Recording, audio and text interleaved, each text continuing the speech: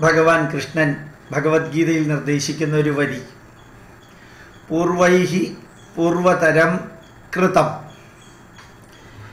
ഞങ്ങൾ പലപ്പോഴും നമ്മളുടെ പ്രവർത്തനത്തെക്കുറിച്ച് ഇങ്ങനെ പലരുമായിട്ട് ഡിസ്കസ് ചെയ്യുമ്പോൾ മറ്റ് പല വ്യക്തികളും പണ്ട് ചെയ്തിരിക്കുന്ന കാര്യങ്ങളെക്കുറിച്ച് ചർച്ച ചെയ്യാറുണ്ട്. പ്രത്യേകിച്ചും അച്ഛനും അമ്മയും ബന്ധുക്കളും അവരെല്ലാം എങ്ങനെയാണ് ഓരോ കാര്യങ്ങൾ അഭിമുഖീകരിച്ചത് ചെയ്തത് സന്തോഷിച്ചത് ആനന്ദിച്ചത്.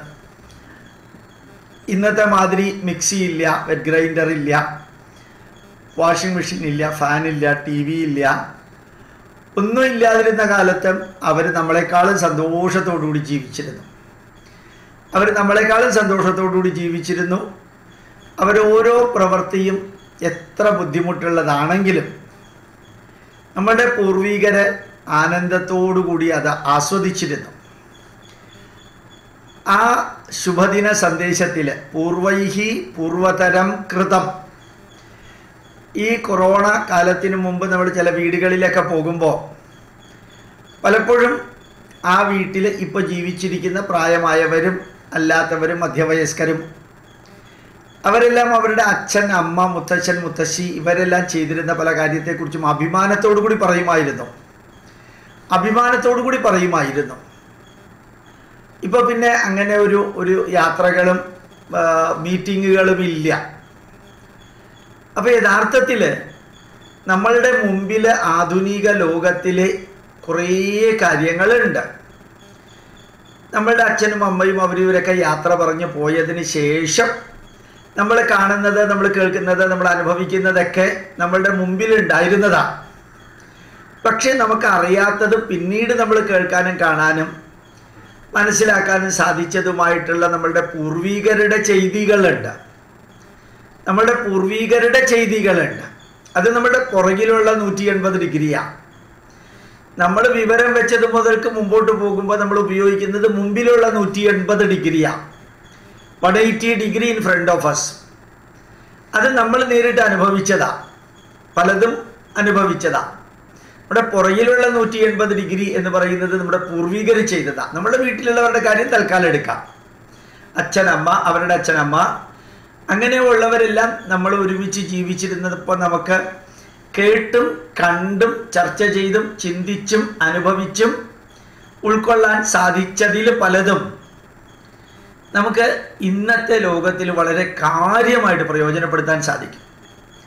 അവർ സംസാരിച്ചിരുന്ന രീതി അവർ പെരുമാറിയിരുന്ന രീതി അവരുടെ വീക്ഷണങ്ങൾ അവർ കാര്യങ്ങൾ ചെയ്തിരുന്ന രീതി ഈവൾ ഭക്ഷണ പദാർത്ഥങ്ങൾ ഉണ്ടാക്കുന്നതായാലും മറ്റുള്ളവരോട് സംസാരിക്കുന്നതായാലും ഒരു ജോലി അവരെങ്ങനെ ചെയ്യാൻ തുടങ്ങുന്നു അത് ഒറ്റയ്ക്ക് ചെയ്യുന്നതായാലും കൂട്ടുകാരുമായിട്ട് ചേരുന്ന ചെയ്യുന്നതായാലും അതെല്ലാം അവർ മറ്റുള്ളവരുടെ കൂടെ നിൽക്കുന്നതായാലും ഇരിക്കുന്നതായാലും എല്ലാം എടുത്തു നോക്കാം. അതിൽ നിന്ന് നമുക്ക് കുറേശ്ശെ കാര്യങ്ങൾ പഠിക്കാനുണ്ട് നമുക്ക് ജീവിതത്തിൽ കുറേ അധികം കാര്യങ്ങൾ. ഇപ്പം നമ്മൾ ഭാഷ. മലയാള ഭാഷ ഇരുപത്തിനാലായിരോ ഇരുപത്തയ്യായിരോ വാക്കുകൾ ഉണ്ടെന്നാണ് തോന്നുന്നത്. എനിക്ക് അറിഞ്ഞൂടാ. ആ ഇരുപത്തിനാലായിരം ഇരുപത്തയ്യായിരം വാക്കുകൾ മലയാള ഭാഷയിൽ ഉണ്ടെങ്കിൽ നമ്മൾ ഉപയോഗിക്കുന്നത് ഏതാണ്ട് ആയിരത്തഞ്ഞൂറ് ആയിരത്തി അറുന്നൂറ് ആയിരത്തി എഴുന്നൂറ് വാക്കുകളെ നമ്മൾ ഉപയോഗിക്കുന്നുള്ളൂ. ഏകദേശം ഏകദേശം. ആ ആയിരത്തഞ്ഞൂറ് വാക്കുകളും ഇരുപത്തയ്യായിരം വാക്കുകളും തമ്മിലൊന്ന് നോക്കാം. ഈ ആയിരത്തഞ്ഞൂറ് വാക്കുകൾ ഉണ്ടെങ്കിൽ മലയാളം ഫ്ലുവന്റ് ആയിട്ട് സംസാരിക്കാൻ സാധിക്കും. ഞാനൊരു ഉദാഹരണം പറയൽ മാത്രമാണ്. അപ്പോൾ അങ്ങനെ നമ്മളുടെ നിത്യജീവിതത്തിലെ കാര്യമാണ് ആയിരത്തഞ്ഞൂറ് വാക്കുകൾ എന്ന് പറയുന്നത്.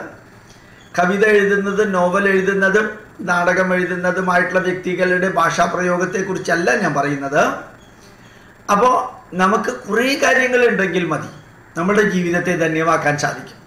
ആ കുറേ കാര്യങ്ങൾ എവിടുന്നാണ് നമുക്ക് കിട്ടുക? ഇന്നത്തെ ലോകത്തിൽ നിന്ന് കേട്ടും കണ്ടും ചർച്ച ചെയ്തും ചിന്തിച്ചും എടുക്കാൻ സാധിക്കും. പക്ഷേ കുറേ കൂടി എഫക്റ്റീവായിട്ട് കുറേ കൂടി ആനന്ദകരമായിട്ട് നമ്മുടെ പൂർവികർ ചെയ്തിരുന്ന കുറേ കാര്യങ്ങളുണ്ട്. എന്തെല്ലാം പ്രതിസന്ധിയിലും നമ്മളുടെ അച്ഛൻ നമ്മളുടെ അമ്മ ഈ അഞ്ചും ആറും ഏഴും എട്ടും കുട്ടികളെ സ്കൂളിലേക്ക് അയച്ച് അവർക്ക് ഭക്ഷണം കൊടുത്ത് അവർ സ്കൂളിൽ നിന്ന് വരുമ്പോൾ അവരെ പരിരക്ഷിച്ച് അവർക്ക് ആവശ്യമായിട്ടുള്ള കാര്യങ്ങൾ കൊടുത്ത് യൂണിഫോം കൊടുത്തിട്ട് പുസ്തകങ്ങൾ കൊടുത്തിട്ട് ടീച്ചേഴ്സുമായിട്ടുള്ള കാര്യങ്ങൾ ചർച്ച ചെയ്ത് അത് നമ്മൾ ചെയ്ത മാതിരി ഒന്നുമല്ല.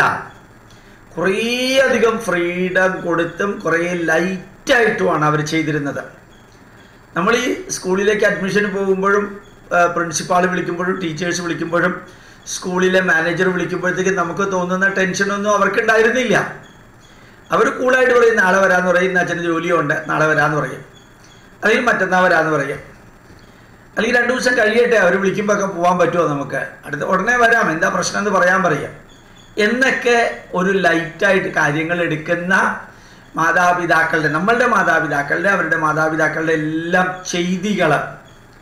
വെറുതെ നിങ്ങൾക്ക് ഒരു ഒരു മണിക്കൂറോ രണ്ട് മണിക്കൂറോ കിട്ടുമ്പോൾ വെറുതെ ഒന്ന് ചിന്തിക്കാം വെറുതെ ഒന്ന് ചിന്തിക്കാം അതിനും ഒരു ഒരു ക്ലാസിഫിക്കേഷൻ വെക്കുക.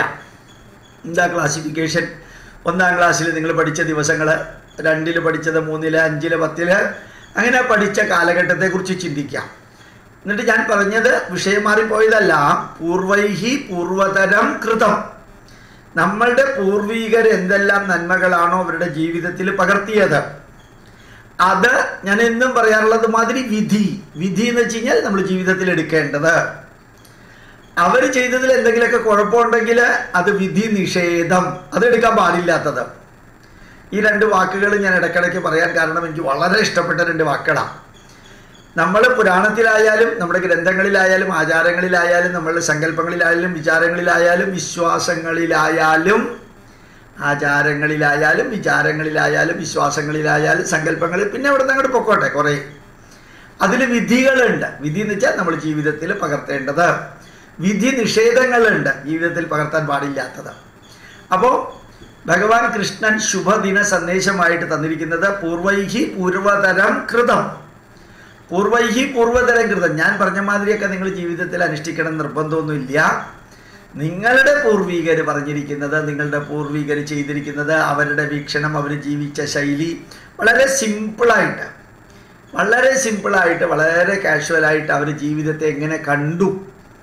ആഡംബരങ്ങൾ വളരെ കുറച്ച് ആവശ്യങ്ങളെല്ലാം നിറവേറ്റി അത്യാവശ്യങ്ങളൊന്നും മാറ്റി വയ്ക്കാതെ അടുക്കും ചിട്ടയോടും കൂടി ജീവിച്ചു ആ ഒരു ജീവിതം അത് ഇന്നത്തെ കാലഘട്ടത്തിലേക്ക് പൂർണമായിട്ടും യോജിച്ചതാണ് എന്നുള്ളതല്ല അതിന്റെ അർത്ഥം.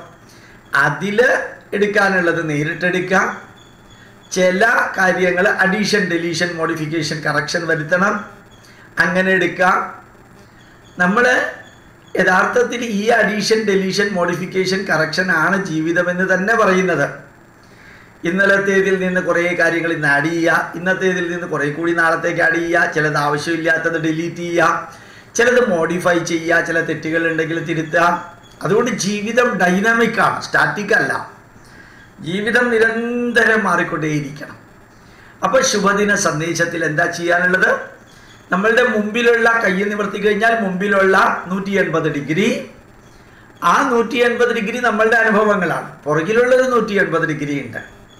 ആ നൂറ്റി എൺപത് ഡിഗ്രി നമ്മുടെ പൂർവീകർ ചെയ്തിരിക്കുന്നത് കേട്ടും കണ്ടും ചർച്ച ചെയ്തും ചിന്തിച്ചും നമുക്കെടുക്കാൻ സാധിച്ചത് അതിലെ നന്മകൾ എടുത്തുകൊണ്ട് അതിലെ നന്മകൾ എടുത്തുകൊണ്ട് ജീവിതത്തെ useful purposeful fruitful meaningful ആക്കാം.